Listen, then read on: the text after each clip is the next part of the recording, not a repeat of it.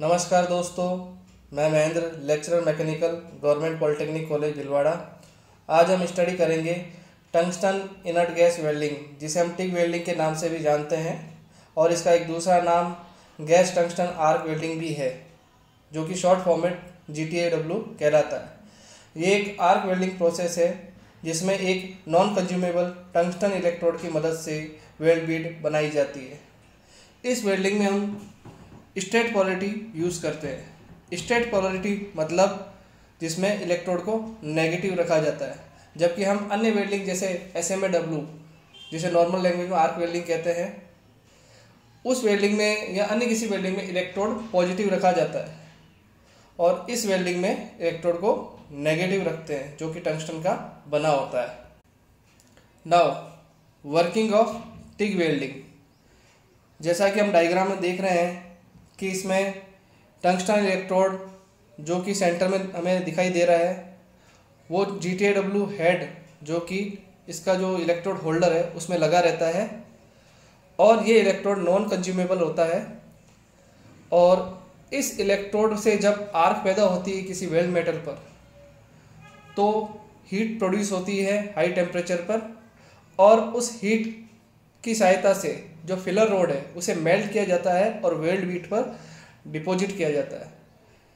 इससे वेल्ड बीड आगे से आगे बनती जाती है और साथ में उस वेल्ड बीड को ऑक्सीडेशन से बचाने के लिए शील्डिंग गैस का यूज़ किया जाता है।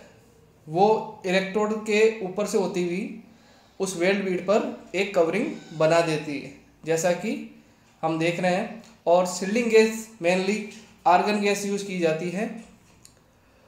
और इस तरह से आगे से आगे एक हैंड से वेल्डर इस इलेक्ट्रोड को पकड़े रहता है और दूसरे हाथ से फिलर रोड को हाई हीट पर डिपॉजिट करता हुआ आगे से आगे बढ़ता जाता है। ये हुई टिक वेल्डिंग की मेन वर्किंग जो कि बेसिक वर्किंग कहलाती है।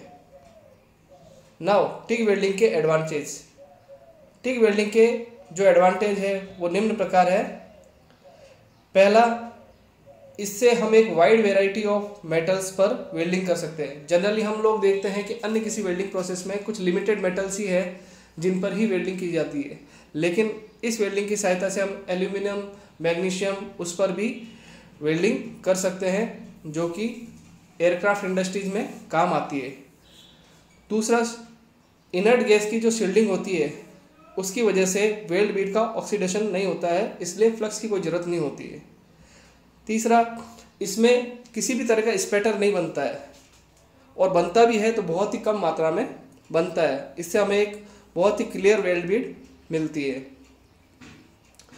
चौथा, इस वेल्ड बीड की मदद से जो थिन सेक्शन है या high gauge high gauge sheet है, उस पर भी वेल्डिंग की जा सकती है।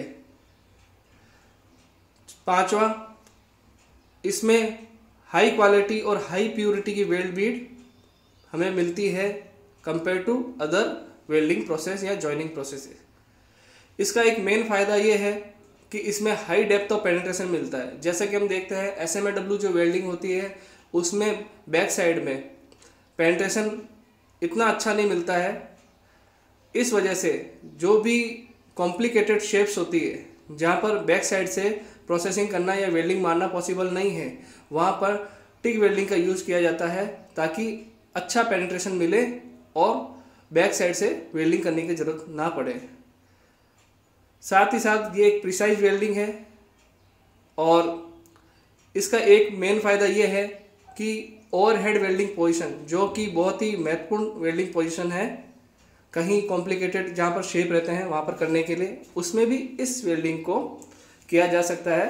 जबकि अन्य किसी वेल्डिंग में वेल्ड बीड या मोल्टन वेल्ड पुल का बाई ग्रेविटी गिरने का डर रहता है, लेकिन इस वेल्डिंग में ऐसी कोई दिक्कत नहीं होती है। इस तरह से टिक वेल्डिंग अपने आप में बहुत सारी खूबियाँ रखती है। नाउ, इसके जो डिसएडवांटेजेस हैं, हम उस पर स्टडी करेंगे। पहला डिसएडवांटेज है कि एक बहुत ही टाइम कंज्यूमिंग प्रोसेस है, और ये बहुत ही स्लोअर है any other welding machine available in market उसके कंपेयर में। और इसमें एक स्किल वेल्डर की ज़रूरत पड़ती है, क्योंकि जो भी वेल्डर इस वेल्डिंग को करता है, वो एक हाथ से फिलर रोड पकड़ता है और दूसरे हाथ से वेल्डिंग होल्डर पकड़ता है और बहुत ही तरीके से इसमें वेल्डिंग की जाती है, जिसमें स्किल वेल्डर की ज़रूरत पड़ती है। इसके साथ ही इसमें सेफ्टी की भी ज़रूरत होती है, क्योंकि अल्ट्रा वायलेट रेज वेल्डिंग के दौरान निकलती है, जिससे हमें खतरा बना रहता है।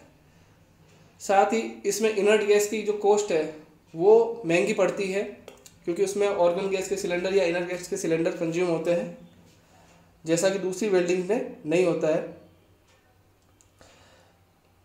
इसके साथ ही इसमें जो फिलर मटेरियल डिपोजिशन रेट है, वो बहुत ही कम है, इसलिए किसी पर्टिकुलर वेल्ड को बनाने के लिए बहुत ज़्यादा टाइम खर्च होता है। साथ ही इसमें जो इनिशियल कॉस्ट है, वो बहुत ही हाई है, क्योंकि इसके जो इक्विपमेंट होते हैं, वो बहुत ही हाई कॉस्ट के होते हैं।